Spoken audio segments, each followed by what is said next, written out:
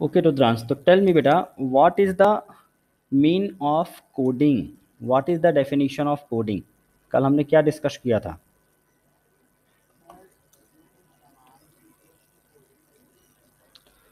Okay what is the difference between command and coding coding is the process of writing commands inside a file clear in a proper sequence when we write the commands in a proper sequence so that we can achieve any goal or we can solve any problem then it is it's called coding and what's the program uh, the file that is created by the coding that file is known as program ये हमने कल की class में discuss किया था and हमने ये देख देखा था कि प्रोग्राम कैन बी एग्जीक्यूटेड हम प्रोग्राम को रन कर सकते हैं and when the program is executed the all the coding or the programming written inside that file will be executed automatically, one after one. जितनी भी मैंने कोड लिखा होगा, जो भी मैंने प्रोग्राम में लिखा है, सारे के सारे code one after one execute होना शुरू हो जाते हैं।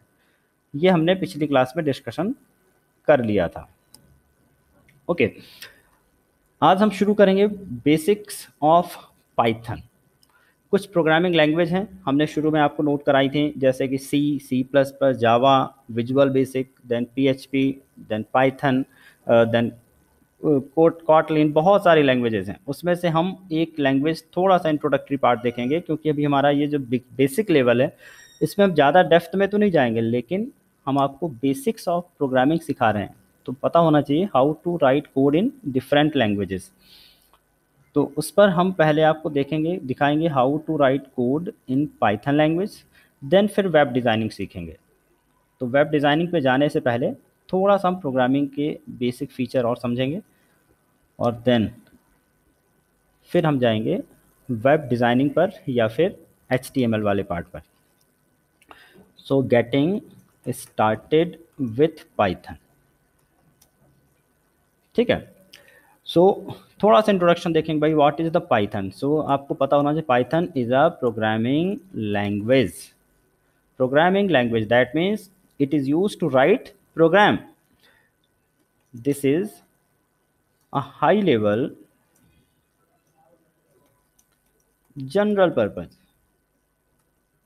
programming language ये कुछ डेफिनेशन जो आपको याद करनी है दिमाग में रखनी है सबका मीनिंग मैं आपको समझाऊँगा। What is the mean of general purpose what is the mean of high level general purpose का मतलब ये कि जो डे टू डे लाइफ में हम जो देखते हैं प्रोग्राम चाहे फिर वो वेबसाइट हो, कोई भी गेम हो, या फिर कोई आप मोबाइल का ऐप यूज़ करते हैं, आप देखते हैं ट्विटर है फेसबुक है या फिर इंस्टा है, इस तरह के जो एप्लीकेशंस होते हैं, इन पे जो प्रोग्राम यूज़ हुआ है, या इनको डेवलप करने के लिए जो लैंग्वेज होती है, उनमें से एक है कौन सी? Python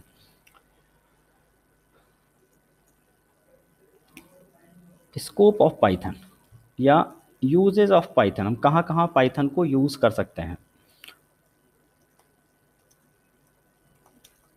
So first of use basic programming मतलब प्रोग्रामिंग के कॉन्सेप्ट लर्न करने के लिए। लर्निंग कॉन्सेप्ट्स ऑफ़ प्रोग्रामिंग जो कि अभी हम सीखने वाले हैं। प्रोग्रामिंग के बेसिक कॉन्सेप्ट लर्न करना है। Then software development then website development आपने वेबसाइट सभी बच्चों को पता है, सबकी किसी न किसी स्कूल की वेबसाइट हैं। किसी और भी आप देखते हैं शॉपिंग की वेबसाइट्स होती हैं, और आप देखते हैं अमेजन की वेबसाइट्स हैं फ्लिपकार्ट की वेबसाइट्स हैं, इस तरह की जो वेबसाइट्स डेवलप होती हैं, उनमें भी पाइथन का यूज़ है। देन गेम डेवलपमेंट तो गेम डेवलपमेंट के लिए भी हम पाइथन का यूज़ कर सकते हैं। ये मैं इसलिए लिखा रहा हूँ so that you will be totally clear in your mind why we should learn Python या कोई भी लैंग्वेज हम सीखें तो क्यों सीखना चाहिए? ये सारी जानकारी हमें शुरू में होनी चाहिए। So game development game like game तो सभी बच्चे जानते हैं, सब ऑनलाइन गेम भी होते हैं। ऑनलाइन हो या फिर ऑफलाइन हो, दोनों तरह के गेम डेवलप कर सकते हैं। हाँ कोई डाउट बेटा? फॉर मोबाइल कंप्यूटर हाँ सब कुछ सब कुछ। For mobile computer etcetera app app development लेकिन ऐप डेवलपमेंट के लिए पाइथन उतनी बेहतर नहीं है जितनी कि दूसरे लैंग्वेज हैं, ठीक है? तो मैं लिख देता हूँ, यहाँ पे ऐप के लिए कौन सी ज़्यादा बेहतर है पाइथन के कंपेरेटिवली में? Better is to learn Java and Kotlin these are the languages which are much more powerful for, for the mobile as compared to python. ठीक है? तो केवल ऐप की बात कर रहे हैं। ऐप की अगर आप बात करेंगे तब हमें जावा या फिर कॉटलिन सीखनी है बेसिकली जब ऐप डेवलप होती है मोबाइल की। देन इसके अलावा भी कुछ टास्क हैं पाइथन के जो कि आपको मिल सकता है। To develop data science and data analysis आप बच्चों यूट्यूब वगैरह तो सभी बच्चे देखते हैं आजकल। सब बच्चों को क्लासेस आती हैं यूट्यूब पे, आप देखते हैं रिकॉर्डेड आती है। लेकिन यूट्यूब में आपने एक चीज़ देखी होगी कि ऐड भी आते हैं। और ऐड कैसे आते हैं, पता है आपको? आपने अगर मान के चलो दो दिन आपने कोई गेम सर्च कर लिया यूट्यूब में तो आपको गेम के ऐड आना शुरू हो जाएँगे। आपने कोई म्यूज़िक सर्च कर लिया तो थोड़े दिन बाद आपको म्यूज़िक के सजेशन आना शुरू हो जाएँगे। आप सुबह सुबह मान लो भजन सुनते हो तो दो दिन आप भजन लगाओ, तीसरे दिन सुबह आप मोबाइल खोलोगे, भजन की प्लेलिस्ट आपको दिखनी शुरू हो जाएँगी। तो एक्चुअली कंप्यूटर पता लगा रहा है कि आपको क्या सही लगता है, या आपको क्या अच्छा लगता है, आप किस टाइम पर किस तरह का डेटा एनालिसिस करते हैं, किस तरह का डेटा एक्सेस करते हैं। तो ये सारा कोई बैठा नहीं है वहाँ बताने के लिए ऑटोमेटिकली हो रहा है। तो this is this type of concept is known as data science और ये किसके थ्रू होता है? पाइथन के through then A I A I artificial intelligence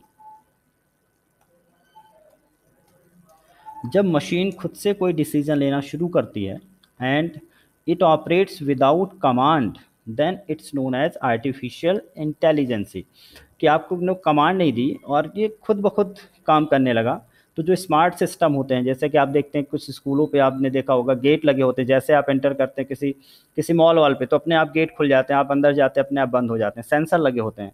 तो हालाँकि वो इतने पावरफुल एआई नहीं है, लेकिन एआई का मतलब रोबोटिक्स जब आप रोबोटिक्स की बात करेंगे, या कोई मैंने कोई ऐसी कार डिज़ाइन कर ली, जैसे टेस्ला जैसी कारें हैं, जिसमें आप ड्राइवरलेस कारों की बात करें, कि जो बिना ड्राइवर पर जब दौड़ेंगी सड़कों पर तो उनके पास पूरा इंटेलिजेंस होना चाहिए। कोई बताने वाला उनको नहीं रहेगा। इस तरह की जो डिवाइसेस होंगी, वो भी पाइथन से डेवलप की जाएँगी। Machine learning and deep learning थोड़े से भारी भरकम शब्द हैं बट आप एक दो तीन बार पढ़ेंगे तो आपको बस ये रटना नहीं है, बस आपको केवल कॉन्सेप्ट में समझना है कि हम इतने तरह के एप्लीकेशन डेवलप कर सकते हैं। अब बात आती है मशीन लर्निंग क्या है? मशीन लर्निंग ये होती है कि जैसे अब हम हैं, हमने कोई गलती की और हमको किसी ने टोक दिया कि तुम ये गलत किया। तो अगली बार हम याद रखेंगे, नहीं, मुझे ऐसा नहीं करना है। लेकिन अभी तक क्या होता, मशीनों में ऐसा नहीं होता। मशीनों में तो जैसा आपने एक बार कोड कर दिया मशीन में, मशीन वही काम करेगी। अगर आपने चार्जिंग पे लगा दिया, ओवर हीट हो जाएगा, ख़राब भी हो जाएगी। लेकिन जब मशीन में कोई इंस्ट्रक्शन एक बार मशीन परफॉर्म करे और उसको प्रोहिबिट कर दें हम कि नहीं, ये नहीं करना है तो अगली बार मशीन उसको याद रख ले कि नहीं, इस तरह का नहीं करना मुझे। तो उसे हम कहते हैं मशीन लर्निंग और, या फिर मशीन ने रोबोट है रोबोट ने कोई कविता सुनाई और हमने ताली बजा दी तो हर बार रोबोट को पता चला हाँ ये अच्छी बात है, इसको मुझे करना है। तो मशीन जब खुद से सीखती है that it call machine learning और जब डीप लर्निंग की बात होगी तो deep learning is more much deeper than the machine learning machine learning से भी हायर कॉन्सेप्ट होता है डीप लर्निंग इस प्रकार के कॉन्सेप्ट में मशीनें कोई एनालिसिस या रिसर्च करती हैं। जैसे कोई सपोज़ करो कोई भी किसी भी तरह डिसीज़ है। सो so, डिसीज़ पे रिसर्च करनी है या डिसीज़ के लिए कितने दवाइयाँ कितनी परसेंट कारगर हुई हैं देख कर पता लगा लेना मशीनों से कि कोई बंदे को कौन सा डिसीज़ हुआ है और इसे कैसे रिजॉल्व करना है विदाउट डॉक्टर या कोई भी हमने फ़ोटो ले ली किसी पत्ती की और वो मशीन बता दे कि हाँ इस इस, ये चीज़ की, ये इस चीज़ का पौधा है और इसमें ऐसा ऐसा आने वाले समय में ये प्रॉब्लम आएँगी। तो ये सारी चीज़ डीप लर्निंग कहलाती हैं। और यही सब लगाकर हम फोरकास्टिंग करते हैं। जैसे आप देखते हैं वेदर फोरकास्टिंग पता लग जाती है कि हाँ इतने देर बाद ऐसा ऐसा मौसम बन रहा है तो ऐसा तूफ़ान आने वाला है या फिर ऐसा कोई बारिश आने वाली है। तो ये सारा मिला जुला कॉन्सेप्ट है।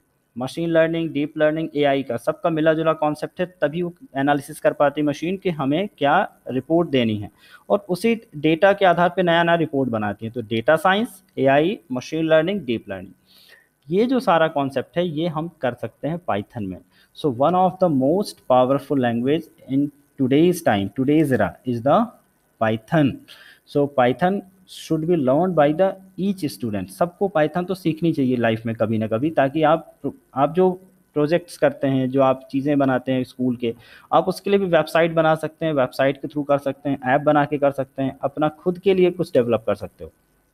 But development is the next part of the R R course तो डेवलपमेंट अभी नहीं अभी हमें क्या सीखना? बेसिक प्रोग्रामिंग पहले हम प्रोग्रामिंग तो सीखें तब तो आगे हम डेवलपमेंट में जाएँगे। सो so, यहाँ पर पाइथन का मैं आपको बेसिक इंट्रोडक्शन दूँगा, क्योंकि ये जो कोर्स जिसमें आप पढ़ रहे हैं बेसिकली ये वेब डिज़ाइनिंग के लिए हमने किया हुआ है। आपको डिज़ाइन से रिलेटेड कॉन्सेप्ट समझाना है। तो क्योंकि डिज़ाइन देन डेवलपमेंट होता है। जब तक डिज़ाइन नहीं होगी, तब तक आप डेवलप करने का मज़ा नहीं आएगा।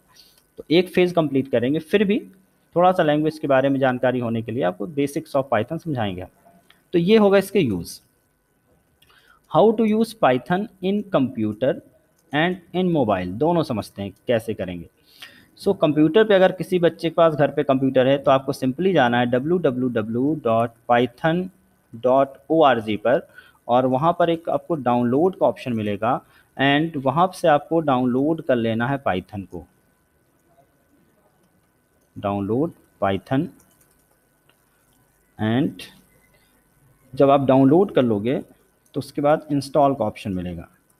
खुद नहीं करना है, अगर किसी के पास सिस्टम है तो किसी और से करा लें। देखिए मैं आपको स्टेप बाय स्टेप समझाता हूँ। मेरी स्क्रीन सभी को दिख रही होगी।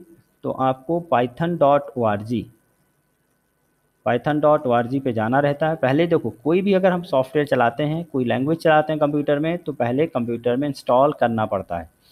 और यहाँ पर आपको ऑप्शन मिलेगा डाउनलोड का। ठीक है यहाँ पर आप देखिए सामने डाउनलोड या फिर नीचे आके आप देखेंगे तो भी डाउनलोड का ऑप्शन है। सो so, यहाँ पे डाउनलोड आप जाओगे तो यहाँ Python 3.9.7 this is the latest release of Python ये आपको ऑप्शन मिलेगा और इस ऑप्शन पे क्लिक करने के बाद यहाँ साइड में या तो डाउनलोड शुरू हो जाएगा या फिर पूछेगा कि आप क्या करना चाहते हैं मैंने कहा सेव करना है। सो so, सिंपली मैंने सेव पे क्लिक कर दिया।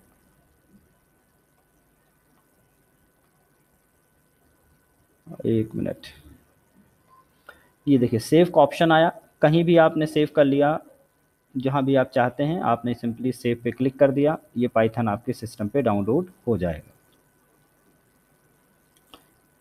डाउनलोड होने के बाद क्या करना है? ये स्टेप्स आप देखते जाओ। अगर किसी के पास सिस्टम है तो बाद में आप इसको फॉलो कर सकते हैं। मैंने डाउनलोड में क्लिक किया था तो मेरी जो पाइथन की फ़ाइल है, यहाँ पे डाउनलोड हो गई है। और यहाँ पे डाउनलोड होने के बाद सर्च कर लेते हैं, थोड़ी सी कहाँ पे गई होगी। वन मिनट आई थिंक मैंने कैंसिल तो नहीं कर दी।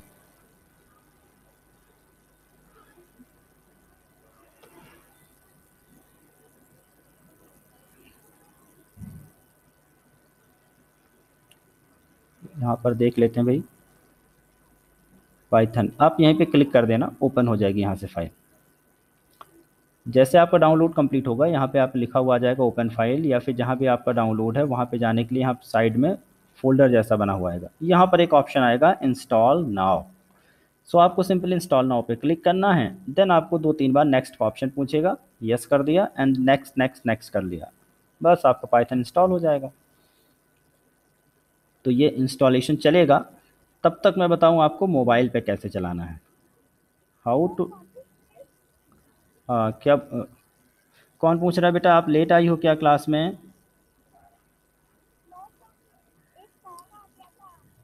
अच्छा actually I I am going to teach the Python programming language Python today so ये बता रहा हूँ मैं कि पाइथन को कंप्यूटर में कैसे डाउनलोड करना है, क्योंकि कोई भी लैंग्वेज पहले मुझे कंप्यूटर पे डालनी पड़ेगी, उसके बाद कंप्यूटर उसको समझेगा।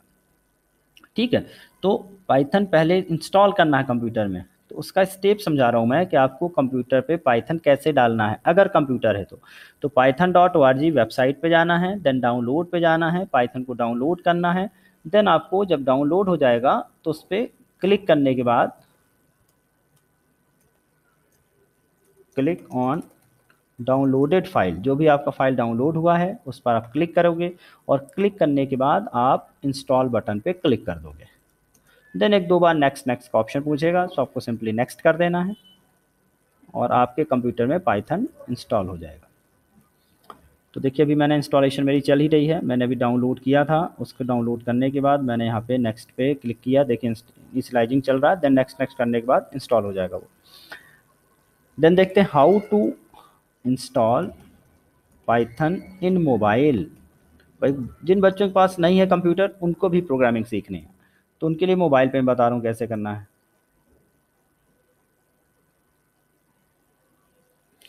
तो मोबाइल पे करने के लिए देखिए, मैं एक बार दिखा दूँ, इस तरह से इंस्टॉलेशन प्रोसेस चलता है। ये इंस्टॉलेशन प्रोसेस चल रहा है दैट मीन्स आपके सिस्टम पर मेरी जो नई लैंग्वेज है, जो पहले से नहीं थी सेटअप हो रही है। सेटअप हो रही है और सेटअप होने के बाद वो लैंग्वेज काम करना शुरू कर देगी। अच्छा आप में से कितने बच्चों ने पीके देखा है? पीके मूवी देखी है बच्चों ने? पीके आप अब देखो, इसमें थोड़ा सा देख, इसमें एक चीज़ आपने देखी होगी कि पीके को पहले लैंग्वेज नहीं आती है। फिर वो भोजपुरी में लैंग्वेज एक इंस्टॉल करता है। याद है ना? वो वो हाथ पकड़ के लैंग्वेज इंस्टॉल करता है। तो दैट इज़ वही हम कर रहे हैं। कंप्यूटर में लैंग्वेज इंस्टॉल कर रहे हैं। जब लैंग्वेज इंस्टॉल होगी, तभी वो समझेगा कंप्यूटर अगर मैं अभी लिख भी दूँगा प्रोग्राम तो कंप्यूटर उसे समझेगा नहीं।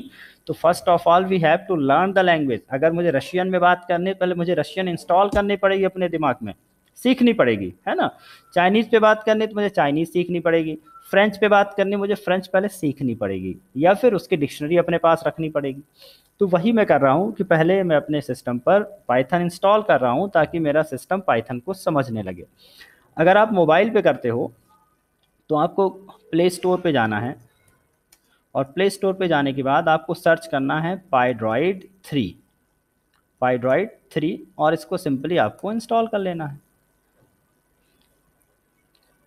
मैं यहाँ पे सिस्टम पे आपको चला के भी दिखाता हूँ कि किस तरह से आपको मोबाइल पे करना है। मोबाइल का कॉन्सेप्ट भी आपको यहीं पे चला के दिखा दूँगा, कैसे चलाना दोनों ऑप्शन तो पहले हमने देखा कंप्यूटर पे कैसे इंस्टॉल करना है।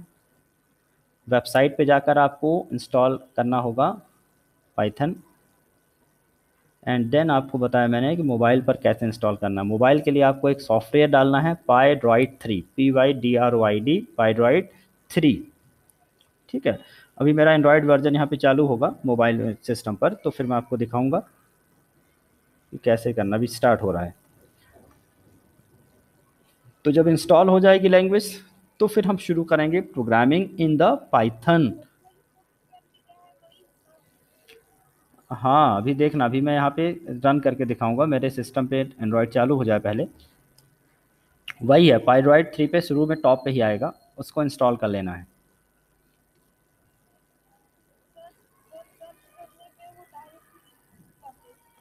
खुल गया, उसमें इंस्टॉल का ऑप्शन मिलेगा।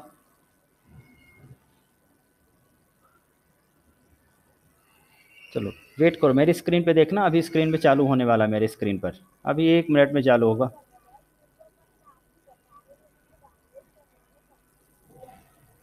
हाँ बेटा, ये फ़ोन पे डाउनलोड करना है कंप्यूटर पे ऊपर मैंने बताया, और मोबाइल के लिए मैंने नीचे बताया कि अगर फ़ोन पे आपको चलाना है तो कैसे चलाना है? देखिए, मैं आपको करके भी दिखा रहा हूँ कंप्यूटर मेरे कंप्यूटर में तो चल ही रहा है, ये देखिए, मेरे सिस्टम पे चल रहा है। और जब कंप्लीट हो जाएगा तो यहाँ पे फिनिश लिखा हुआ आ जाएगा। हाँ पूछो बेटा। किस पे डाउनलोड करना बेटा? मोबाइल पर आप चलाना है आपको? या कंप्यूटर पे? हाँ देखो स्क्रीन पे देखो। मैंने क्या लिखा? प्ले स्टोर पे जाना है और ये वाली फ़ाइल पाइड्रॉइड थ्री लिखा मैंने यहाँ पे। ये नाम टाइप कर देना है।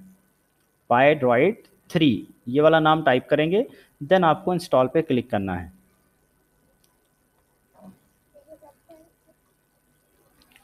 मैं भी करके भी दिखा रहा हूँ स्क्रीन पे सब कुछ चलाते हुए दिखाऊँगा आपको। मेरा यहाँ पर चालू हो रहा है, ये देखिए एक मिनट। सपोज़ कि ये आपकी मोबाइल की स्क्रीन है जो मेरे सिस्टम पर दिख रही होगी आपको, और यहाँ पर ये प्ले स्टोर का आपको बटन दिखेगा। सभी को मोबाइल पे दिखेगा तो प्ले स्टोर पे जाना है, और then simply type the pydroid 3 just wait till my play store gets on. Good good good यही बेटा, बिल्कुल यही यही वाला। तो मैंने क्या लिखा यहाँ पे? इंस्टॉल कर लेना इसको। तो मैंने लिखा P Y D R O I D Pydroid three और मैंने एंटर की प्रेस कर दी। सबको स्क्रीन दिख रही है मेरी प्रॉपरली विजिबल है।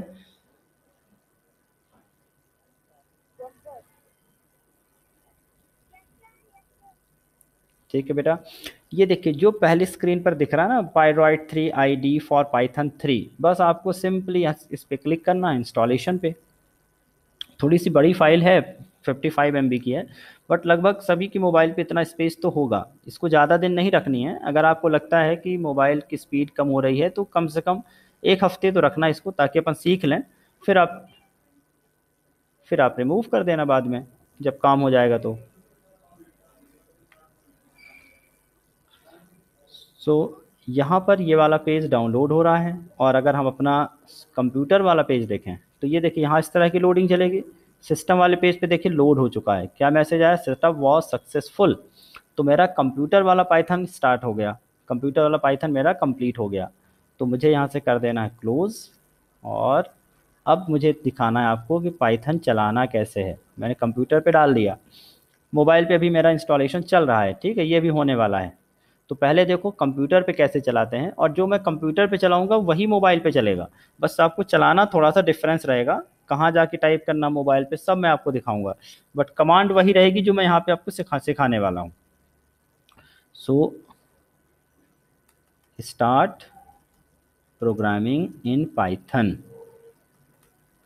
तो स्टार्ट करने के लिए देखिए, आपको स्टार्ट मेन्यू में जाना है और स्टार्ट बटन पे जाने के बाद आपको टाइप करना आई डी एल ई यहाँ पर स्टार्ट पे आप जब जाओगे या फिर अगर स्टार्ट पे नहीं जाते हो तो ये जो आपको क्लिक करने के लिए टाइप करने के लिए बना हुआ है, यहाँ पे I D L E type करोगे सो एक ऑप्शन दिखेगा आपको I D L E Python computer की बात कर रहे हैं मोबाइल पे नहीं तो कंप्यूटर पे आपको इस आई डी एल ई को ओपन कर लेना है।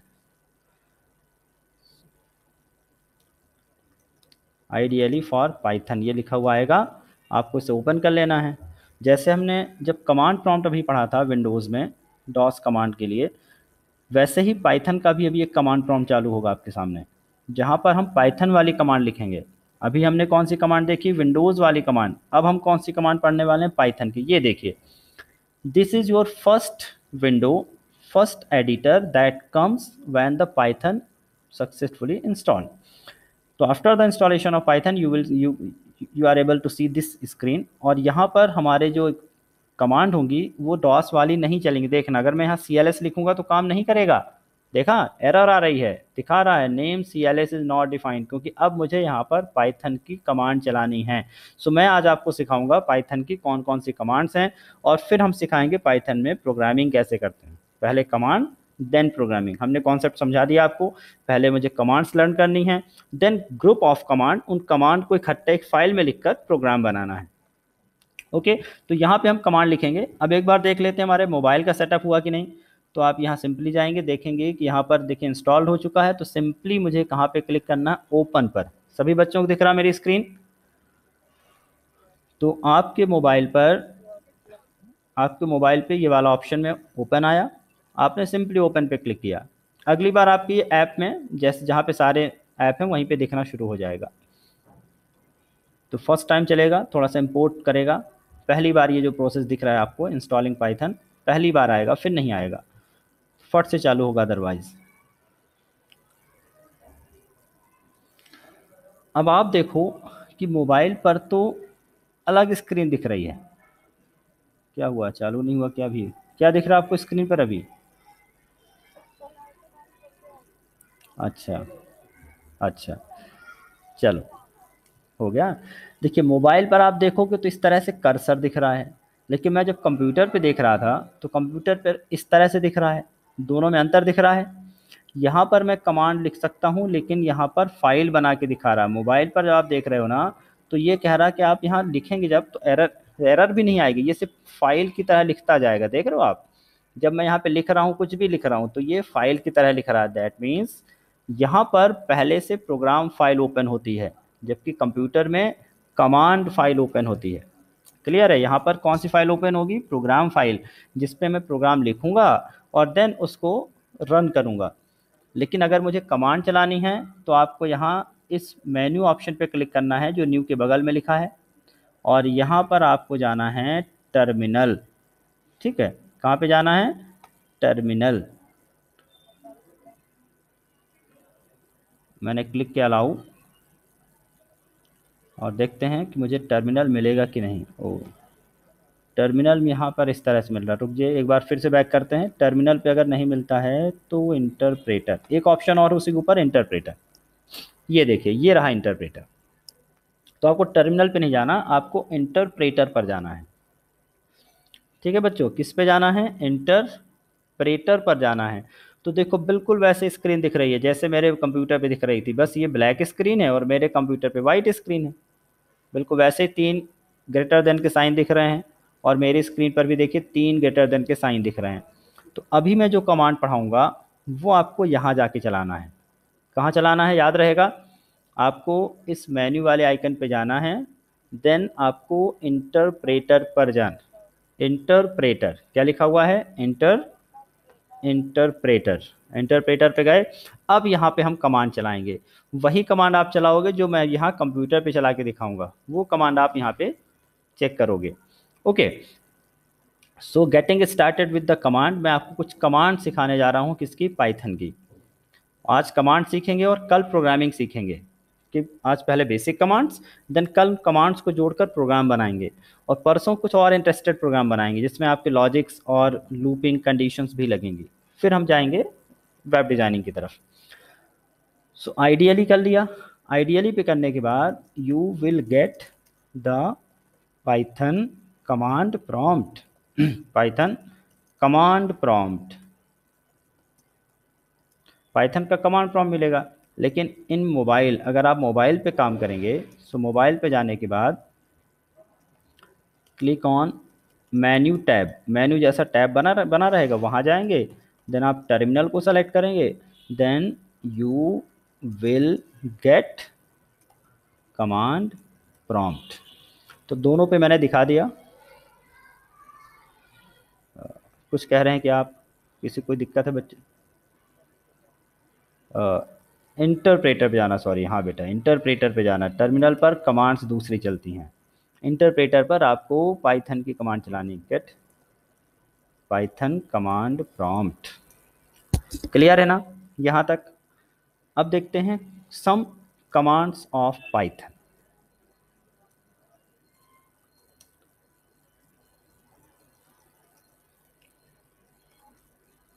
how to write commands in Python ऐसा कह सकते हैं तो राइट कमांड नहीं सम पाइथन कमांड से लिख देता हूँ मैं।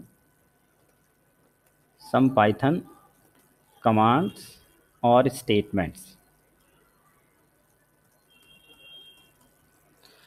सो फ़र्स्ट स्टेटमेंट देख रहे हैं असाइनमेंट असाइनमेंट स्टेटमेंट क्या होता है? जैसे मैंने कहा a equal to a equal to मैंने लिख दिया फोर ए इक्वल टू मैंने लिख दिया फोर तो दिस इज़ कॉल्ड असाइनमेंट फिर मैंने बी इक्वल टू लिख दिया forty b equal to forty तो this type of statement is known as which statement assignment statement मैं कुछ वैल्यू सेट कर रहा हूँ। सो so, मैंने यहाँ पर ए में कुछ वैल्यू सेट कर दी बी में कुछ वैल्यू सेट कर दी। अब अगर मैं चाहूँ तो देखो यहाँ पर मैं गया मैंने लिखा a equal to something b equal to something लिख दिया। अब बताओ मुझे मैंने लिखा a plus b a plus b क्या आंसर मिलेगा? ए प्लस बी क्या मिलेगा? Seventy good seventy so seventy तो आप देख रहे हो कि जब आप कमांड चला रहे हो तो these these are the command सबसे पहले हमने असाइनमेंट चलाया वैल्यू क्या लेनी है? देन हमने उस पर एक्सप्रेशन बनाया कि व्हाट एक्सप्रेशन और calculation should be performed over that assigned variables so दूसरा तरह का हुआ एक्सप्रेशंस एक्सप्रेशंस मतलब operations to be performed over the data assignment का मतलब क्या रहेगा? ये समझिएगा। असाइनिंग वैल्यू और data to variables assigning data और वैल्यू टू वेरिएबल्स अब यहाँ एक वर्ड आ गया वेरिएबल अब यहाँ देखिए बच्चों, जब आप बात करते हैं डेटा की whenever we talks about the data so data is the value अगर कोई पूछे यहाँ पर हाँ फिर से मैं रिपीट कर रहा हूँ। असाइनमेंट का मतलब है कि डेटा या वैल्यू को किसी वेरिएबल पे रखना। अब वेरिएबल क्या है, समझा रहा हूँ मैं। और एक्सप्रेशन का मतलब है कि ऑपरेशन लिखना या फिर फॉर्मूला लगाना। दिस इज़ कॉल्ड एक्सप्रेशन तो operation to be performed over the data और राइटिंग द फार्मूला और राइटिंग द फार्मूलाज ये क्या कहलाएगा? एक्सप्रेशन कहलाएगा। जैसे मैंने एक्सप्रेशन क्या लिखा?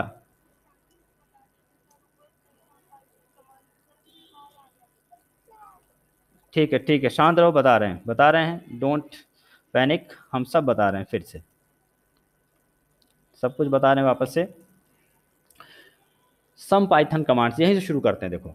बच्चों, फिर ध्यान से देखना। अब अब कंसंट्रेट करना। दोबारा नहीं कन्फ्यूज़न होना चाहिए। पाइथन कमांड में हमने शुरू शुरू सबसे पहले क्या किया? असाइनमेंट स्टेटमेंट पहली कमांड होती है डेटा को असाइन करना मतलब डेटा सेट करना। जिस डेटा पे काम, देखिए, अब जब हम लैंग्वेज पढ़ेंगे तो हम लैंग्वेज में कुछ कैलकुलेशंस करेंगे। Addition subtraction division multiplication simple interest area of circle area of rectangle इन सब चीज़ों का प्रोग्राम बनेगा। तो जब आप किसी प्रोग्राम को बनाते हो, जब कोई एक्सप्रेशन लगाते हैं, जब कोई लॉजिक लगाते हैं तो मुझे डेटा की ज़रूरत पड़ती है। जैसे किसी का नाम क्या है, किसी का एज क्या है, किसी का परसेंटेज कितना है, या कोई का लेंथ कितनी है विथ कितनी है तो बहुत सारे डेटा की ज़रूरत पड़ती है। तो सबसे पहले हमें डेटा को असाइन करना पड़ता है। असाइनिंग का मतलब होता है कि taking the value to a variable जैसे यहाँ पे हम लिखा ए इक्वल टू ट्वेंटी मतलब मैंने ए में ए नाम के वेरिएबल में कौन सी वैल्यू रख ली? Twenty so here twenty is a value अब यहाँ समझना बेटा here twenty is a value this is the value twenty and forty क्या है ये हमारे? वैल्यूज़ हैं या फिर डेटा हैं। ठीक है? बट कोई पूछे what are the a and b so a and b are the variables ये क्या है सारे? ये क्या कहलाएँगे? Variable कहलाएँगे। The variable is the name that hold some data जो डेटा को रखता है, वो क्या कहलाएगा? वेरिएबल और इसके आगे आपको याद रहना चाहिए, तीन ग्रेटर देन लगे रहेंगे। प्रॉम्प्ट के लिए, उसको मुझे टाइप नहीं करना, ये पहले से ही टाइप रहेगा। This is the already typed ये दिखा रहेगा। उसी तरह से यहाँ पर इस तरह से बना हुआ रहेगा। हमें उसको नहीं बनाना। हम तो सिर्फ़ क्या लिखेंगे? ए प्लस बी उस कमांड प्रॉम्प्ट के आगे जाकर आपने ए प्लस बी लिखा और you will get the answer and what is the answer what is the answer एक हाँ ट्वेंटी प्लस फोर्टी अभी मैंने ट्वेंटी और फोर्टी लिया तो आंसर क्या मिलने वाला मुझे? सिक्सटी। तो डेटा देख कर आंसर देना। ये मत देखना कि सर ने पिछली बार सेवेंटी आ गया तो सेवेंटी बोल दें। नहीं अभी हमारा डेटा जो है उसके हिसाब से आंसर देना है। तो देखो डेटा और वेरिएबल। अब मेरी बात ध्यान से सुनना। आपको आपको सपोज़ करो कि चाय पीनी है दूध पीनी है दूध पीते हैं सभी बच्चे। सो so, मिल्क है मेरे पास। अब डिस्टिंग्विश करना है सब लोगों को अपना लॉजिक्स लगाना है। मेरे पास मिल्क है लेकिन उस मिल्क को मैं पुट कर रहा हूँ किसी कप में। कप में डाल के पियेंगे ना? सो so, यहाँ पर डेटा क्या है और वेरिएबल क्या? है जल्दी बताइए।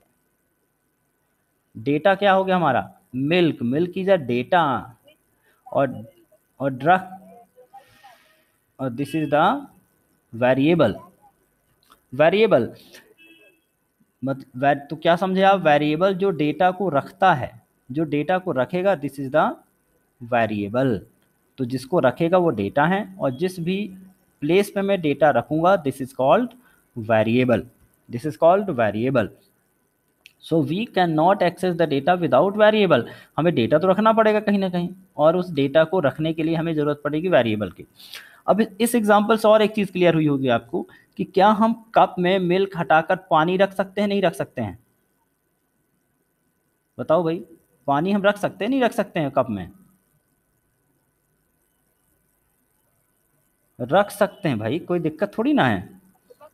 रख सकते हैं। So the same variable the same variable can hold different data ये दूसरा डेटा हो गया। This is the different data different data so एक कॉन्सेप्ट और समझ लीजिए। कि वेरिएबल में हम दूसरा डेटा भी रख सकते हैं, लेकिन पिछला डेटा फिर गायब हो जाएगा। इन केस ऑफ़ पाइथन यहाँ ऐसा मत समझिएगा मिक्स हो जाएगा। अब पहले से दूध होगा तो पानी डालेंगे मिक्स होगा। लेकिन पाइथन में ऐसा नहीं है। पाइथन में when we store another value, अब यहाँ ध्यान से देखना मेरे बच्चों, मेरी बात ध्यान सुनना। ए इक्वल टू अगर मैंने टेन लिख दिया, पहले मैंने ए में क्या लिया था? ऊपर ध्यान से देखो थर्टी फिर मैंने ए में क्या रखा? अब मैंने क्या रखा? Ten so now the value of a will be changed अब ए की वैल्यू थर्टी नहीं है। ए की वैल्यू क्या हो गई? टेन सो बताओ मुझे, अब अब क्या आएगा ए प्लस बी में? बी में मैंने कोई चेंज नहीं किया है। बी में अभी भी फोर्टी है।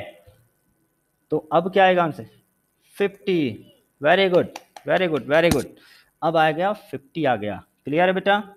So we can change the value of any variable any time कभी भी मैं वेरिएबल की वैल्यू को चेंज कर सकता हूँ. So variable only to represent value तो वेरिएबल हम क्यों बनाते हैं? Only to represent the value so यहाँ एक नोट लिख देता हूँ मैं.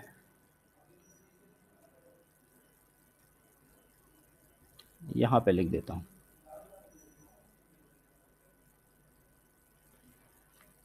Note.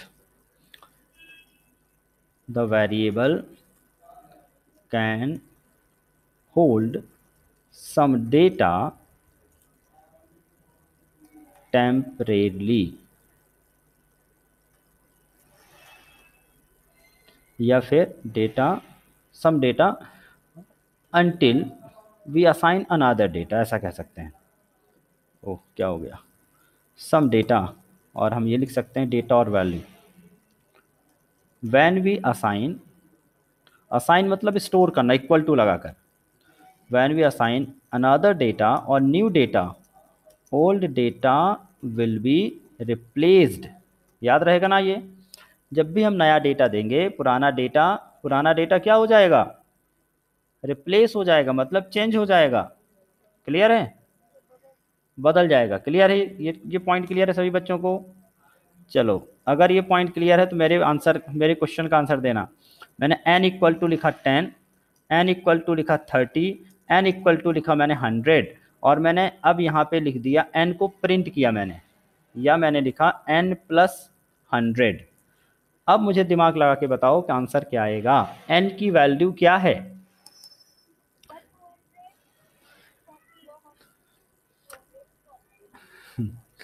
पहले ये, पहले मुझे ये बताओ कि एन की वैल्यू टेन है या थर्टी है या हंड्रेड है? एन की वैल्यू क्या है फाइनली हंड्रेड देखो बच्चों, अभी अभी मैंने कहा कि जब एन में नया डेटा आएगा, पुराना डेटा लॉस हो जाएगा। तो एन में टेन था, लेकिन जब मैं थर्टी दिया मैंने तो टेन हट गया थर्टी हुआ। फिर मैंने जब हंड्रेड दिया तो थर्टी हट गया। क्या बचा हंड्रेड सो अभी अगर मैं एन लिखूँगा सिर्फ़ सिर्फ़ मैं अगर मैं सिर्फ़ यहाँ पर एन लिखूँगा तो we will get only hundred और जब मैं एन प्लस हंड्रेड लिखूँगा तो हंड्रेड प्लस हंड्रेड क्या मिलेगा मुझे? टू हंड्रेड क्लियर है? ये पॉइंट ये पॉइंट क्लियर है ना? बिल्कुल क्लियर है. So when we assign new value to any variable the old value will be lost या फिर रिप्लेस्ड आपको याद रखना इस चीज़ को. याद रहेगा? यस और नो तो देखो मैं यहाँ पे लिख देता हूँ। पिछली बार यहाँ पर ऊपर सिक्सटी आया था ट्वेंटी फोर्टी था, फिर मैंने यहाँ पर ए इक्वल टू चेंज कर दिया। ये भी बता देता हूँ मैं आपको, मैंने यहाँ पर ए इक्वल टू कर दिया ten a equal to ten किया, फिर ए प्लस बी किया। देखो बी की वैल्यू नहीं बदली थी फिफ्टी आया। फिर मैंने एन इक्वल टू टेन किया एन इक्वल टू थर्टी किया एन इक्वल टू हंड्रेड किया। फिर मैंने सिर्फ़ एन लिखा। तो किसकी वैल्यू प्रिंट करेगा वो सिर्फ़ एन की, और एन की वैल्यू क्या थी? हंड्रेड हो गई। फिर मैंने एन प्लस हंड्रेड किया तो टू हंड्रेड हो गया। ठीक है? क्लियर है? आगे बढ़ते हैं। अब देखो, गड़बड़ कब होगा? मान कर चलो, मैंने यहाँ पे लिख दिया, x प्लस वाई क्या लिखा मैंने? x प्लस वाई इसकी क्या वैल्यू आनी चाहिए? क्या इसका कोई वैल्यू आना चाहिए? क्या इसका कोई रिज़ल्ट क्यों नहीं आएगी? क्यों नहीं आएगी? कारण?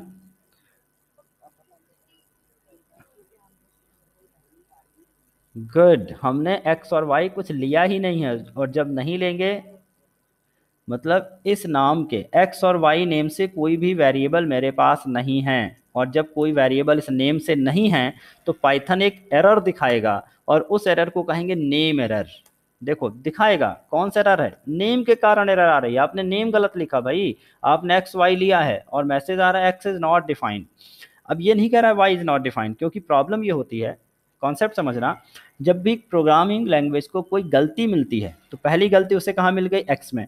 तो जब उसे पहली ही गलती मिल गई तो वो दूसरी गलती को देखने नहीं जा रहा। है उसने पहली गलती से आपका काम मना कर दिया। बोले एक्स नहीं मिला मुझे। ठीक है? अगर पहला सही होता, मैंने ए प्लस वाई लिखा होता तो अब वो वाई में जाके रुकता। वो बोलता, नहीं वाई गड़बड़ है। देखो, अब इस बार किसमें आया? वाई में। तो ये कंफ्यूज नहीं होना कि सर यहाँ तो एक्स और वाई था इसने सिर्फ़ एक्स का नाम क्यों लिया? क्योंकि उसने वाई को देखा ही नहीं। उससे तो गल, गलती मिल गई और गलती मिली तो उसने रिजेक्ट कर दिया। आपने ये वाला गलत फॉर्म भरा जैसे आप कोई फॉर्म भरो उसने शुरू में चार ऑप्शन दिए हैं। भाई name father name date of birth gender address बहुत सारा ऑप्शन आपने शुरू में ही नेम को खाली छोड़ दिया। तो सीधे ही आपका फॉर्म रिजेक्ट बोला आपका फॉर्म नहीं देखना। फिर ये नीचे नहीं देखेगा कि आपने तो जेंडर भी गलत भरा, या आपका ईमेल आईडी भी गलत है, या फिर कुछ भी कुछ भी नहीं देखा, आपका पहले फॉर्म रिजेक्ट हुआ। क्यों? क्योंकि पहली ही वैल्यू गलत थी। तो सारा क्यों चेक करेगा कोई बंदा? भाई अपना टाइम क्यों वेस्ट करेगा? जब उसको पहली ही वैल्यू गलत मिली तो सीधे उसने वहीं से मना किया कि आपका प्रोग्राम गलत है एक्स हमें नहीं मिला। ठीक है? एक्स उसे नहीं मिला। क्लियर है? तो ये हमने देखा, दो ऑपरेटर अभी हमने देखा, कौन सा देखा हमने सबसे पहले? असाइनमेंट करना देन हमने क्या देखा? एक्सप्रेशन लगाना एक्सप्रेशन लगाना। अब यहाँ पर देखो एक नोट और मैं लिख रहा हूँ। We can also assign the expression to a variable हम वेरिएबल में एक्सप्रेशन को असाइन कर सकते हैं। समझना इस बात को। मैं करके दिखा रहा हूँ। अभी मैंने क्या लिखा? अभी मैंने ए प्लस बी लिखा था। ठीक है? तो मुझे ए प्लस बी का आंसर तुरंत मिल गया। लेकिन मैं चाहूँ तो ऐसा भी लिख सकता हूँ। C equal to a plus b इसका क्या मतलब हुआ? कि जो ए प्लस बी का डेटा है, जो रिज़ल्ट है, वो किसके पास चला गया? किस वेरिएबल में चला जाएगा बेटा? सी में चला गया। गुड गुड ये किसकी वैल्यू हो गई? सी की। मुझे इस बार इस बार मुझे रिज़ल्ट नहीं मिला। क्यों नहीं मिला? क्योंकि रिज़ल्ट तो सी के पास है। So we have to print C जब मैं सी लिखूँगा तब मुझे डेटा मिलेगा। क्लियर है? सो so, मैं एक्सप्रेशन को किसी वेरिएबल पे भी लिख सकता हूँ। तो वेरिएबल में कोई पूछे वैल्यू आएगी? यस एक्सप्रेशन आएगा? यस तो वेरिएबल क्या क्या रख सकता? है वैल्यू भी रख सकता है और एक्सप्रेशन भी रख सकता है। क्लियर है? तो वेरिएबल में हमने a equal to something something दे दिया। ए इक्वल टू मैंने दे दिया टेन बी इक्वल टू मैंने दे दिया ट्वेंटी सी इक्वल टू मैंने दे दिया ए प्लस बी और मैंने यहाँ पर सिर्फ़ किसको प्रिंट किया? सी को। इसके आगे समझ लेना, ये ट्रिपल गेटर देन मैं लगा रहा हूँ बट ये टाइप नहीं करना है, ये पहले से टाइप रहेगा। टाइप आपको सिर्फ़ क्या करना है? A and b expression type करनी है। और यहाँ पर मैंने सी को प्रिंट कर दिया। क्लियर है? तो यहाँ पर मुझे रिज़ल्ट मिलेगा। फाइनली ए प्लस बी का रिज़ल्ट क्या मिलने वाला है? Thirty. Clear so we can assign the value we can assign the expression to the variable next variables are case sensitive case sensitive मतलब can not use capital A if we assigned small a. मतलब अगर आपने variable capital case में बनाया है तो आप capital को एक्सेस करोगे, लेकिन स्मॉल बनाया है तो स्मॉल को एक्सेस करोगे। जैसे मैंने लिखा ए इज़ इक्वल टू हमने लिखा ट्वेंटी लेकिन मैं प्रिंट कर रहा हूँ कैपिटल ए तो जब आप कैपिटल ए प्रिंट करोगे तो यहाँ पर अगेन वो आपको नेम एरर कहेगा। नेम एरर क्योंकि उसको नेम नहीं मिला। कौन सा एरर मिला बेटा? नेम एरर बताएगा कोई क्यों ऐसा हुआ? क्यों ऐसा हुआ? क्यों? हाँ क्योंकि मैंने ऊपर स्मॉल में बनाया और नीचे मैंने तो वेरिएबल करते समय सावधानी, ये सब प्रोग्रामिंग आप जब सीखते हैं ना तो ये सारे रूल हमें सीखने पड़ते हैं। यही रूल मैं आपको सिखा रहा हूँ। कि वेरिएबल में आप रख तो सकते हो, लेकिन आपको जैसे मैंने यहाँ पे लिखा, एक तो प्रिंट हो रहा है, लेकिन कैपिटल ये लिखेंगे तो सेम एरर आ गया। नेम एरर बोलेगा, ये तो आपने गलत लिखा। तो इस नाम से कोई वेरिएबल है नहीं। तो ये भी याद रखना है कि जिस केस में वेरिएबल अगर मैंने कैपिटल ले लिया होता वेरिएबल तो कोई दिक्कत नहीं थी। अब ये आप कैप्ट हाँ बेटा, बोलिए। हाँ तो ठीक है क्लास के बाद ये जो मैं पढ़ा रहा हूँ उसको प्रैक्टिस करिए।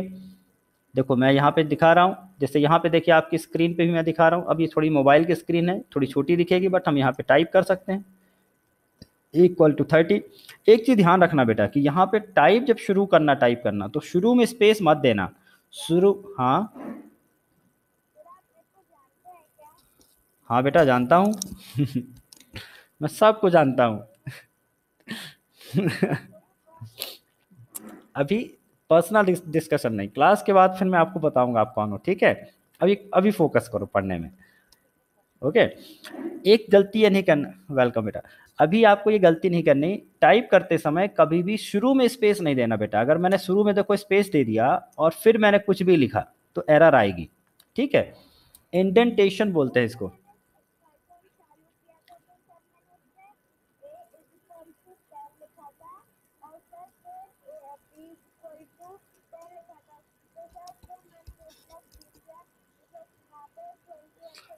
मतलब आपका प्रोग्राम सही चल रहा है, ठीक है?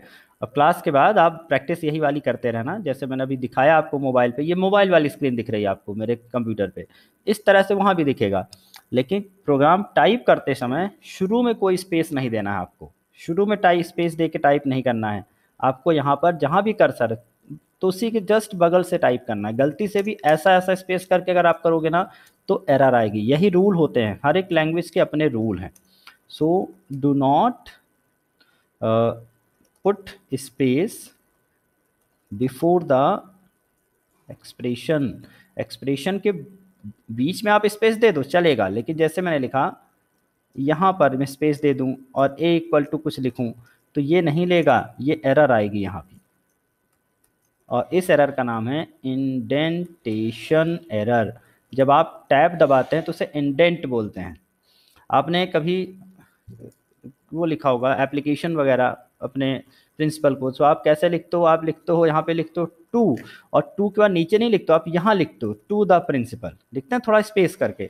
So this space this space is known as indent technically इसको क्या बोलते हैं? इंडेंट बोलते हैं। याद रहेगा? सो so, हमें इंडेंट नहीं देना है। हमें पाइथन में जब प्रोग्रामिंग करेंगे सो हमें सिंपली जहाँ पे मैं बोलूँगा जहाँ पे ज़रूरत है इंडेंट की सिर्फ़ वहीं इंडेंट देना है। तो हर एक स्टेटमेंट में इंडेंट की ज़रूरत नहीं पड़ती है। There are some statement then that specify the its body जो ये बताते किसके अंदर कुछ लिखना है, तब आपको इंडेंट देना। जैसे टू लिखा मैंने तो टू के अंदर लिखना था द प्रिंसिपल इसलिए मैंने लिखा। लेकिन जब सब्जेक्ट लिखेंगे तो सब्जेक्ट वापस मैं यहाँ लिखूँगा। टू के अंदर नहीं लिखूँगा, मैं यहाँ पे लिखूँगा सब्जेक्ट इसका मतलब ये इंडेंटेशन के बाहर है। Subject is not the part of to to तो उस बंदे का नाम आएगा जिसको मैं आइडेंटिफाई कर रहा हूँ। सो so, जब किसी टू के अंदर कोई पार्ट आएगा तब इंडेंट देना है।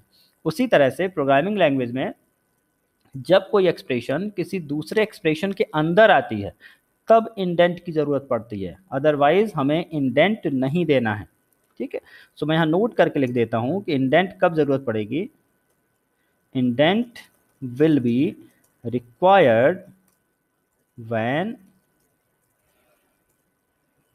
when the statement belong belong to the another statement belongs to another statement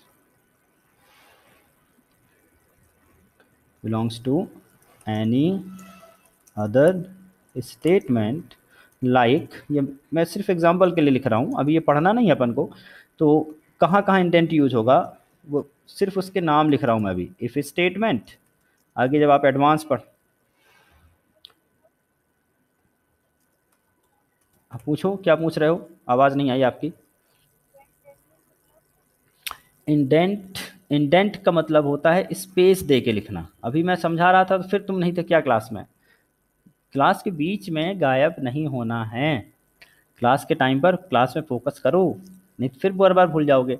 अभी मैंने एग्जांपल दिया था, जब आप कोई एप्लीकेशन लिखते हैं तो टू लिखते हैं, फिर टू द प्रिंसिपल तो यहाँ स्पेस करके टैब करके लिखते हैं टू द प्रिंसिपल ये बताने के लिए कि ये जो लाइन है टू के अंदर लिखी है। ठीक है तो ये इंडेंट कहलाता है। जब हम हाँ तो यही तो है इंडेंट यही इंडेंट है। इसी को समझा रहा हूँ मैं कि पाइथन में आप प्रोग्राम लिखोगे तो यहाँ पर स्पेस करके नहीं लिख देना। यहाँ पे इक्वल टू मैंने देखो थर्टी लिखा तो देखो एरर आ गई।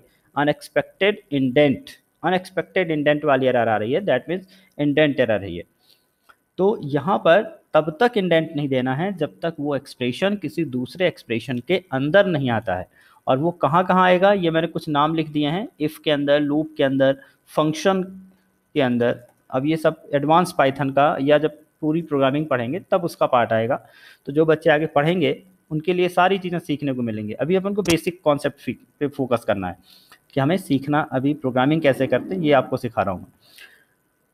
तो हमने दो तीन स्टेटमेंट देख ले। पहला हमने क्या देखा? हाउ टू क्रिएट वेरिएबल या फिर how to assign the data to variable then how to make expressions we can also store the expressions inside the variable लेकिन at that case we have to print the variable तब मुझे उस expression की value मिलती है। Next is next is print statement print statement what is the print statement so देखिए, नाम से ही पता चल रहा है print so this is a command या कह सकते हैं this is a function function that that will print mic off रखना बेटा, जिसका भी चालू है. So this is a function that will print any value और वेरिएबल और एनी मैसेज कोई भी अगर मुझे मैसेज प्रिंट करना है तो आप प्रिंट स्टेटमेंट का यूज़ करोगे। कैसे? जैसे मैंने कहा, प्रिंट ए। तो ए की वैल्यू जो भी होगी, जो भी ए की वैल्यू होगी, प्रिंट हो जाएगी। हालाँकि मैं बिना प्रिंट का भी प्रिंट कर पा रहा हूँ, लेकिन मतलब समझ में आना चाहिए। अगर मैंने ए इक्वल टू लिखा टेन और मैंने लिखा प्रिंट ए तो सिमिलरली जो ए लिखने से प्रिंट होगा, वही यहाँ पे प्रिंट होगा, यहाँ पर टेन प्रिंट हो जाएगा। फिर मैंने लिख दिया प्रिंट और मैंने प्रिंट में लिख दिया वेलकम सो मैंने वेलकम लिखा। अब जब मैसेज की बात आएगी तो डबल कोटेशन में लिखना है।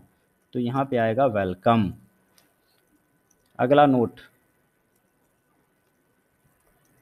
to print any string string मतलब टेक्स्ट किसी का नेम हो गया, है ना? कोई नेम है, कोई एड्रेस है, कोई मैसेज है, इसको हम स्ट्रिंग कहते हैं प्रोग्रामिंग में।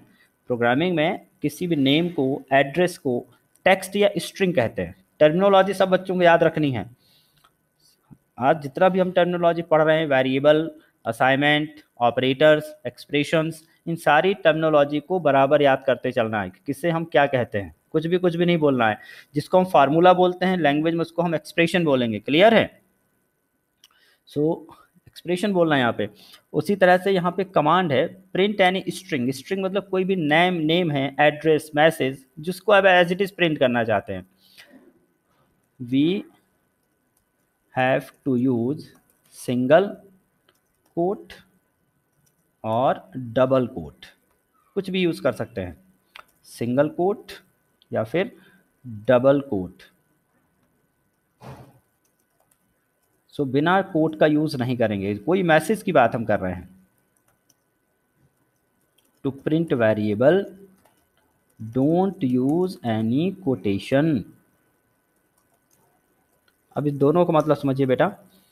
एक बार कंफर्म करो, मेरी वॉइस आ रही ना सभी बच्चों तक? ठीक है तो आज इस स्टेटमेंट को समझते हैं। आज का हमारा आखिरी स्टेटमेंट रहेगा। To print any string string या मैसेज को प्रिंट करना है। तो देखो, जैसे मुझे मैसेज प्रिंट करना है तो मैंने लिखा प्रिंट हेलो तो हेलो अगर आप सीधे लिखोगे ना, बिना किसी भी कोटेशन का तो एरर आएगी। देखो, आ गई एरर नेम एरर कह रहा है हेलो को मुझे नहीं पता क्या है। तो आपको जब भी कोई मैसेज प्रिंट करना है तो आपको मैसेज के साथ प्रिंट और डबल कोट या सिंगल कोट लगाना है।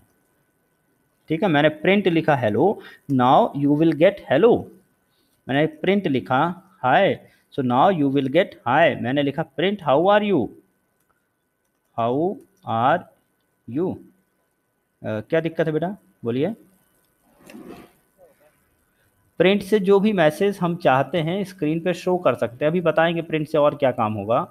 देखिए, पहले तो यहाँ देखो, कोई भी मैसेज मैं चाहता हूँ स्क्रीन पे दिखे, कोई भी चीज़, मुझे रिज़ल्ट देखना है। आगे जब प्रोग्राम पढ़ाएँगे तो प्रोग्राम में हमें रिज़ल्ट दिखाना पड़ता है यूज़र को। जैसे आप एटीएम पे जाते हो, आपने कोई कार्ड लगाया तो बताएगा, भाई, आप में अमाउंट ही नहीं है। तो एक मैसेज प्रिंट होकर आता ना सामने, कि हाँ ये दिक्कत हो रही है। तो इस तरह का, या जैसे आपने कभी मोबाइल देखा हो, मोबाइल जब स्टार्ट होता है या मोबाइल की जब बैटरी जाती है तो मैसेज आ जाता है, फट से बैटरी लो। तो ये सब प्रिंट का कमाल है।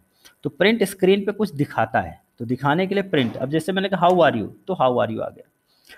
अब मैंने एक टर्मिनोलॉजी और यूज़ की है यहाँ पर कि वेरिएबल को प्रिंट करना है तो कोटेशन नहीं लगाना है, क्योंकि अगर आपने कोटेशन लगाया, तब वो टेक्स्ट बन जाएगा। टेक्स्ट का मतलब है एज इट इज़ प्रिंट होगा, जो आपने लिखा वही प्रिंट होगा।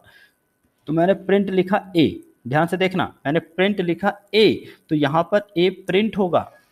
और अगर मैं लिखूँगा प्रिंट ए तो यहाँ पर ए का वैल्यू प्रिंट होगा। दोनों का मतलब समझो। अगर आपके पास वेरिएबल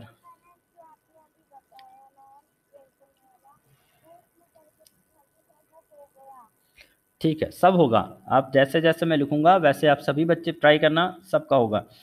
यहाँ पर इस रूल को ध्यान से समझो बेटा। अगर मैंने प्रिंट में डबल कोट में कुछ भी लिखा है तो सिर्फ़ वो मैसेज प्रिंट होगा, भले ही कोई वेरिएबल क्यों ना हो। लेकिन अगर मुझे उसकी वैल्यू चाहिए, कोई वेरिएबल मैंने बनाया था और मैंने उस वेरिएबल को वैल्यू मुझे प्रिंट करना है तो मुझे डबल कोट नहीं लगाना है। अब मेरी बात का जवाब ध्यान से देना। मैंने लिखा प्रिंट और पहले मैंने एक वेरिएबल बना लिया x equal to one twenty y equal to three hundred और मैंने लिखा प्रिंट y माइनस एक्स या मैंने एक और लिखा z equal to y minus x जल्दी जल्दी कैलकुलेट करो। जल्दी जल्दी कैलकुलेट करना है। सोचिए ज़रा इसका आंसर क्या आएगा। y वन एट्टी तो मैं प्रिंट प्रिंट प्रिंट जेड करूँगा। जैसे प्रिंट जेड करूँगा तो क्या मिल गया मुझे? 180 मिला। अगर मैं लिखूँगा प्रिंट एक्स तो क्या प्रिंट होगा? X की वैल्यू देखो ना क्या है। 120 प्रिंट मैंने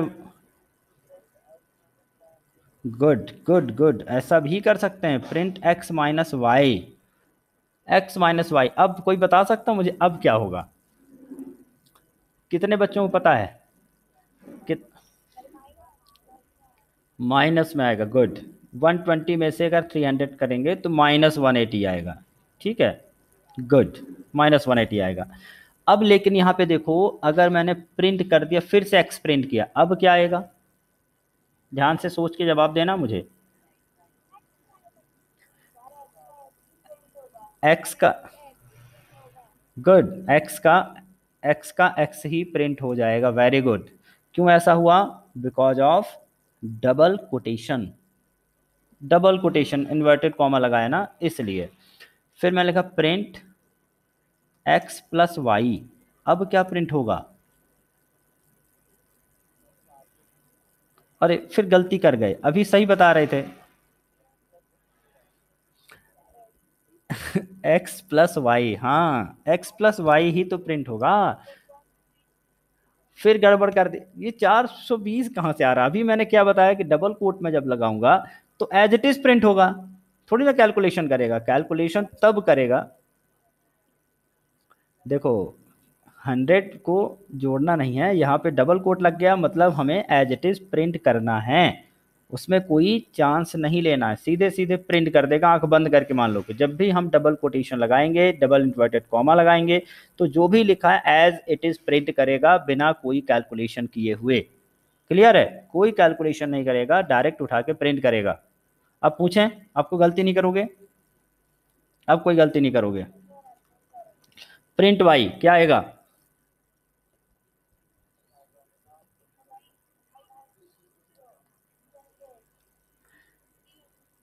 थ्री हंड्रेड आएगा या फिर वाई प्रिंट हुआ आएगा? जल्दी बताओ। Three hundred three hundred very good clapping clapping for all of you three hundred आएगा। और अगर मैंने लिख दिया प्रिंट वाई ऐसे लिख दिया तो क्या प्रिंट होगा? वाई का वाई प्रिंट होगा क्लियर सब बच्चों का क्लियर हो गया इतना? गुड इतना क्लियर हो गया है कि अगर हम डबल कोट लगाएँगे या डबल इन्वर्टेड कॉमा लगाएँगे या सिंगल इन्वर्टेड कॉमा लगाएँगे, कुछ भी एक एक्स्ट्रा लगा दिया हमने तो मुझे ठीक है। अब हम दोनों मिक्स करके भी चला सकते हैं।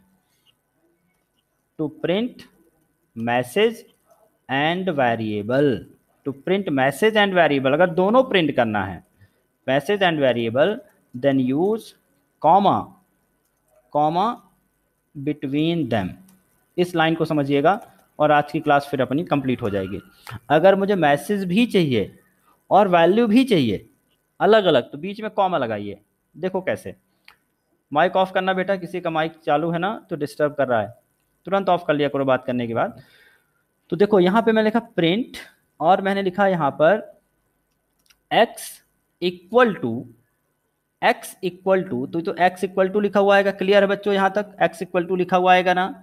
लेकिन कॉमा करके अगर मैंने एक्स लिख दिया, अब ध्यान से देखा, मैंने दो ऑप्शन लिख दिए एक्स इक्वल टू मैसेज है कॉमा फिर एक्स भी लिखा है तो अब दो डेटा आएगा। पहले क्या लिखा हुआ आएगा? एक्स इक्वल टू और फिर एक्स की वैल्यू तो मतलब अब आएगा x equal to one twenty clear है?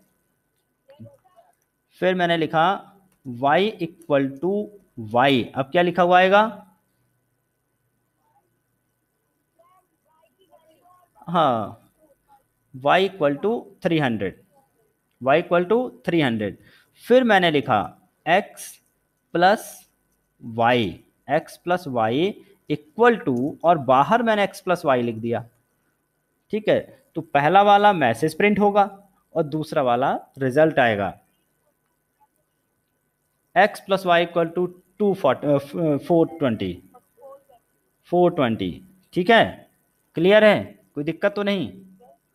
Okay so we can also type like this हमने लिखा, ऐसा भी लिख सकते हैं माई फ़र्स्ट नंबर इज़ और यहाँ कोलन लगा दिया, और फिर मैंने एक्स लिखा। अब क्या लिखा हुआ आएगा? माई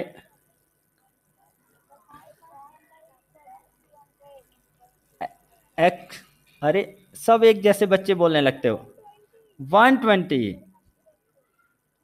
हाँ my first number is one twenty. तुम लोग बहुत ब्रिलियंट बच्चे हो। बहुत अच्छा लर्न कर रहे हो भाई। बहुत बढ़िया, बहुत मज़ा आ गया तुमको पढ़ाने मुझे। तो माई फ़र्स्ट नंबर इज़ 120 आ गया, क्योंकि यहाँ पे my first number is a message message की तरह प्रिंट होगा। और एक्स क्या होगा? वेरिएबल सो वैल्यू की तरह प्रिंट होगा। क्लियर है? कोई दिक्कत नहीं है? Okay okay. सो so, अब आपको पूरी तरह क्लियर हो गया। आज मैंने जो पढ़ाया वेरिएबल क्या है एक्सप्रेशन क्या है और प्रिंट क्या है। ये सारा ऑप्शन हमने आज डिस्कशन कर लिया आपके साथ। और कल थोड़े से एडवांस कॉन्सेप्ट पढ़ेंगे और प्रोग्रामिंग सीखेंगे। अभी हमने सिर्फ़ तीन कमांड देखी हैं। अभी इनपुट नहीं देखा सो इनपुट भी देखेंगे हम। यहाँ पे देखो सारा एग्ज़ाम्पल मैं पेस्ट कर रहा हूँ। और नीचे जो लिख ऊपर मैंने समझाया उसका वन बाय वन मैंने एग्ज़ाम्पल लिखा है। यहाँ पर एक चीज़ ध्यान रखना बच्चों, जो भी इसके सामने लिखा है डबल ट्रिपल गेटर देन के सामने, वो मैंने टाइप करके लिखा है। लेकिन यहाँ पे वन ट्वेंटी वन एट्टी आ रहा मतलब ये रिज़ल्ट है, ये मैंने लिखा नहीं है, ये ऑटोमेटिकली आया है रन करने के बाद। प्रिंट एक्स लिखा है तो वन ट्वेंटी आएगा। So you only have to type the value जो भी मैंने यहाँ पे एक्सप्रेशन लिखा, सिर्फ़ इसको टाइप करना है। और ये ट्रिपल गेटर देन भी टाइप नहीं करना है, ये ऑटोमेटिकली लिखा रहेगा स्क्रीन पर। ठीक है? तो आज की क्लास यहीं तक बेटा। कोई दिक्कत, कोई डाउट, कोई समस्या हो तो आप पूछ सकते हैं मुझसे।